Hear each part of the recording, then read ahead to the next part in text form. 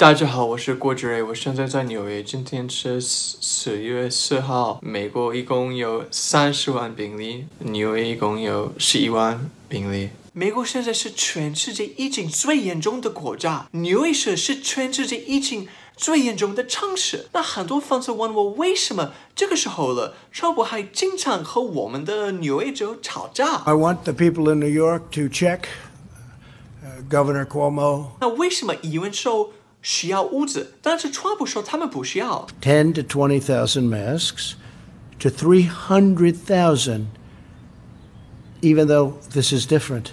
Something's going on. 为什么各个州差不多是竞争关系？ There are masks that we were paying 85 cents for. We're now paying $7.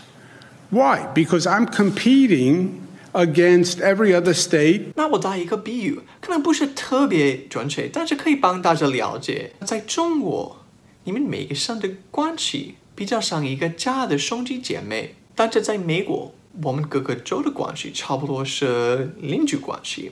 联邦政府差不多是武官，川普差不多是武官经理。在这个公寓里，每户家的事情是自己管自己，整个公寓的事情是武官管，对外的事情也是武官管。在美国，疫情的问题比较像公楼开始漏水，比如纽约县漏水，纽约马武管，因为你们平时没有维护好房子，所以我家漏水了。但是物管说这是你家里漏水了，不是武管的问题，你自己花钱收。Shouldn't be talking about us. He's supposed to be buying his own ventilators. 上面的邻居有的会觉得对我家也漏水了，这是物管的问题；有的会觉得这是你们纽约自己的问题，我家这么没流水；也有的会觉得你们两个都没有问题，这是外面下雨的问题。如果不下雨，就不会漏水。所以我们一直吵架，一直吵架，要吵很久才可以知道我们最后应该做什么。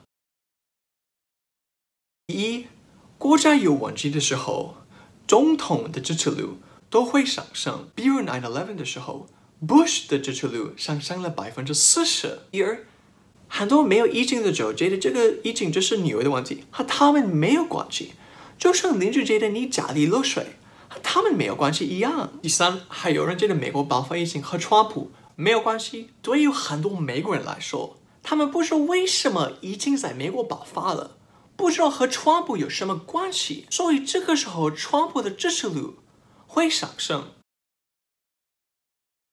最近我们有一个新闻说， Georgia Governor Brian Kemp is being ridiculed widely because just yesterday, after weeks of wall to wall media coverage of the coronavirus, he claimed he just learned that people without symptoms can still spread the virus. 为什么这个州的州长现在才知道他家里是不是断网？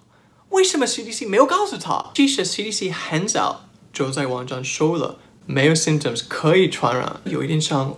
物管在电梯门口贴了一个告示，说大家注意，我们公寓最近有一个漏水的问题。但是州长一直没有看这个告示，所以他不知道发生了什么。And repeated scientific warnings by experts about precisely what we are encountering now. It has been missignal after missignal after missignal. 我们的联邦政府就是物管，他应该很早以前就告诉美甲人说我们现在有什么问题，现在应该怎么做。但是我们的物管经理川普一直不重视这个病毒，所以他不管，所以疫情越来越严重。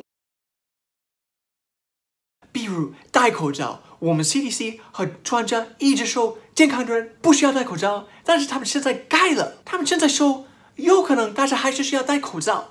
川普建议大家用那个微型口罩。A lot of people have scarves, and you can use a scarf. Scarf would be very good. 比如 CDC 先说中国的 K95 的口罩可以用，然后 FDA 说不可以用，然后 FDA 又说可以用。比如之前视频里拍那个会战中心医院，先说给新冠病毒的人，后来说不给新冠病毒的人，这几天又说还是给新冠病毒的人。在美国，每个部门一般自己说自己的，他们一般不会先商量好一个说法，然后统一告诉大家。但是现在疫情需要大家合作，如果我们有好的总统，他可以让每个部门合作。但是问题就是现在我们没有好的总统，所以你可以经常听到很多会上矛盾的话。所以大家看美国新闻要想一想，这个是他们随便说说，还是他们真的会做？所以还是不看他们说他们要做什么，而是看他们已经在做什么。总的来说，为什么美国是全世界疫情最严重的国家？主要是第一，我们的反应太慢，而且到现在很多问题还没有解决，比如检测和隔离。第二，我们的总统没有做好他的工作。第三。我们每个就自己管自己，没有很多好的合作，所以我们就变成了现在这个样子。我也不知道以后会怎样，这个问题怎么解决？好，那我现在走吧，拜拜。我是郭杰瑞。